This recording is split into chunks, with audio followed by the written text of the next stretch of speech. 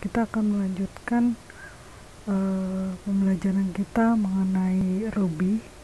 Uh, kemarin kita sudah belajar mengenai atribut asesor di dalam file tersendiri.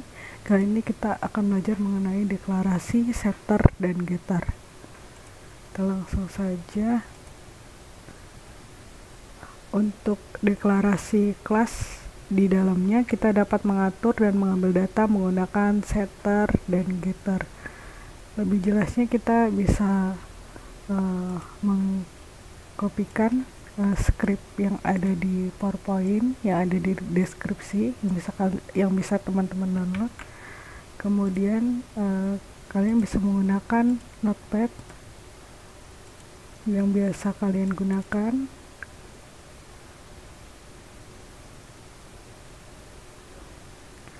kemudian bisa kalian namakan dengan nama declassget.rb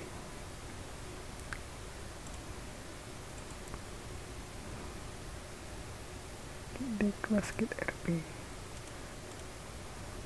kemudian kalian juga bisa menjalankannya dan membuka terminal pastikan kalian sudah ada di dalam uh, folder tempat di mana kalian menyimpan programnya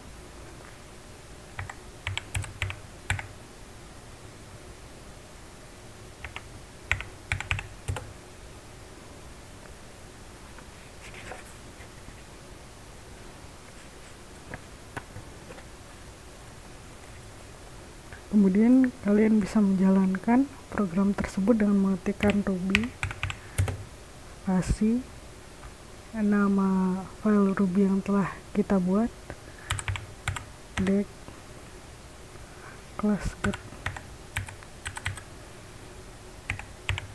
get rb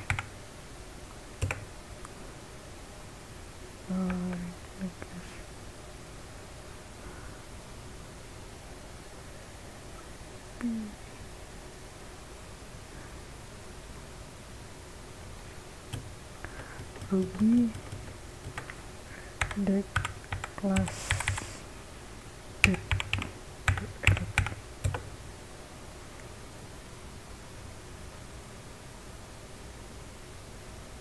deck class set get ruby.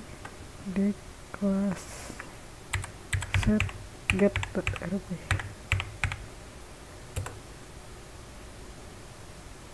kemudian uh, muncul dari hasil uh, script di atas.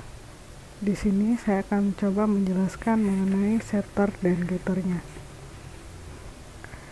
pertama kalian uh, membuat dulu konstanta konstanta kelas defaultnya dengan isian bahan default dulu. Kemudian kita membuat uh, setter dan getter untuk menginstance variabel mereknya kemudian kita buat uh, getter untuk mengambil atau mengget tahun desain.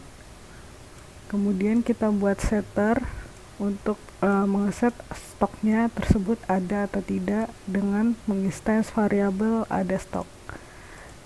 Selanjutnya kita membuat metode yang dipanggil pada saat kelas baju di inisias, diinisialisasi dan memanggil mereknya. Kita mengset uh, mereknya ini dengan isian nil. Jadi mereknya masih kosong.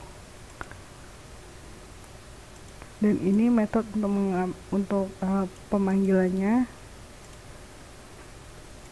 Selanjutnya kita bisa menggunakan metode return boolean dengan menggunakan tanda tanya kalau untuk uh, mengecek apakah stok tersebut tersedia atau tidak.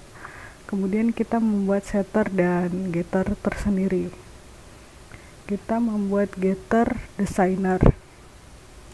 Kita akan memanggil data designer dan mengecek kondisinya apakah desainernya ada. Kalau belum ada maka seringnya belum tahu. Kemudian jika desainernya ada kita akan mengeset desainernya melalui inputan. Inputannya nanti bisa kita uh, masukkan di kelas baru. Kemudian di sini kita membuat kelas method self nama item. Kita membuat uh, atau mengeset nama item dengan nama itemnya adalah baju bagus. Kemudian kita membuat kelas method juga menggunakan kelas method untuk nomor rak. Kita masukkan nomor raknya kemudian untuk nested kelasnya kita buat nested kelas kain dengan mengisikan nama nama kainnya adalah kain katun. Kemudian kita membuat uh, turunan kelas baru dan mengeset kelas baju ini dengan nama bajunya adalah dengan mereknya tadi merek default kita set menjadi batik. Kemudian kita masukkan kita memanggil desainer baju karena desainer bajunya di atas ini belum didefinisikan maka di sini muncul desainernya belum tahu. Kemudian kita buat set setter kita buat set desainernya ada XYZ maka di sini mun sudah muncul untuk desainernya ada XYZ kemudian kita buat juga pemanggilan untuk nama item. Nama itemnya adalah baju bagus di mana kita sudah uh, set di kelas metodenya tadi nama item baju bagus. Maka muncul dia di sini kemudian kita panggil juga nomor rak dan juga kelas nama item tadi. Selanjutnya kita panggil juga bahan defaultnya. Bahan default yang sudah kita buat dengan nama bulu. Maka muncul di sini bulu. Kemudian uh, kita buat lagi pengesetan pengeset untuk kain.